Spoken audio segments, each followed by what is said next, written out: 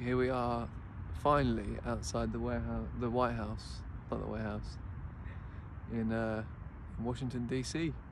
Check it out. Have a look. Have you shown? Mm-hmm. We're gonna go and um, knock for. Gonna go knock and see if President uh, Obama is home. Should be fun. That's where he works, isn't It's it? where he works. Yeah. So Yeah. uh, I love him. Yeah. Apparently, if you go in there, they give you like Lollies, Yeah. lollipop, yeah, and other pens, and like nice Stationery. pretty things in a basket. Yeah, but I can't believe I'm here. Looks smaller than I thought it would. It was a big dream come true for you, wasn't it? Yeah, look at that. Get a picture of me. Sure. Go and say hello to Mr. Obama.